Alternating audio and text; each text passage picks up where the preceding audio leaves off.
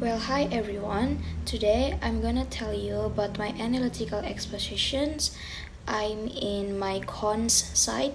So now we're talking about homework is important, so I should be give it to the students. But first, let me introduce myself first. My name is Veronica Fidelia Swasti and I'm from Educational Administration C. There are a lot of discussions as to whether students should be given homework or not. Is it enough for students having time to study at school or needing additional time in home for study after school time? For me, homework is the kind of assignment or task that is usually given by the teacher for the students after explaining the material. This assignment must be done by the students at their homes. I think there are some reasons why homework should be given by the teachers for the students. Firstly, homework teach time management and improve student achievement. That means it will give the good impact for the students especially as the lazy students who often spend their time to do their homework.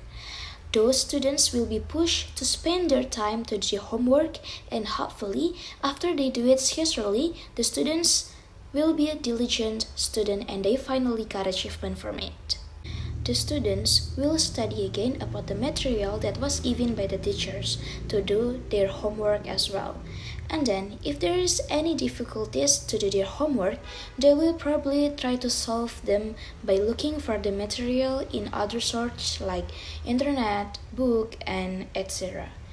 It means that students will be curious about the material and try to improve their knowledge in order to master the material. Secondly, Homework provides spaced repetition for long-term memorization. For students, memorizing is a difficult thing, so by doing their homework, they can easily rememorize what has been learned.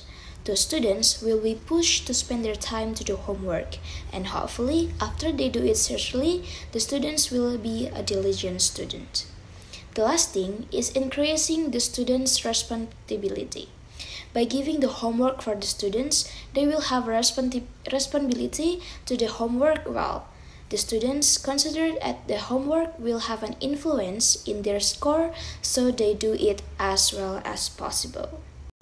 In sum, the relationship between homework and academic achievement in the elementary school years is not yet established, but eliminating homework at this level will do children and their families a huge disservice we know that children's learning beliefs have a powerful impact on their academic outcomes, and that through homework, parents and teachers can have a profound influence on the development of positive beliefs.